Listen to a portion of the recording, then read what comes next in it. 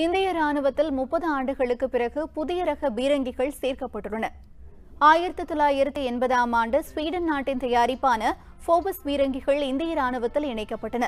இந்நிலையில் அமெரிக்க தயாரிப்பான M seventy seven ultra light howitzer மற்றும் தென்கொரியாவின் தயாரிப்பான கே நைன் வைஜ்ரா டி என்ற பீரங்கிகள் ராணுவத்தில் சேர்க்கப்பட்டுள்ளன. பாதுகாப்புத்துறை அமைச்சர் நிர்மலா சீதாராமன் ராணுவ தளபதி பிபின் ராவத் முன்னிலையில் இந்த பீரங்கிகள் ராணுவத்தில் இணைக்கப்பட்டன. உண்மை செய்திகளை உங்கள் கண்முன் கொண்டு வரும் காவிரி நியூஸின் யூடியூப் சேனலை சப்ஸ்கிரைப் செய்யுங்கள். நொடிக்கு நொடி நாட்டு நடப்புகளை தெரிந்து கொள்ள Kaveri news dot TV Facebook Instagram Twitter போன்ற சமூக வலைதள பக்கங்களோடு எப்போதும் இணைந்திருங்கள்.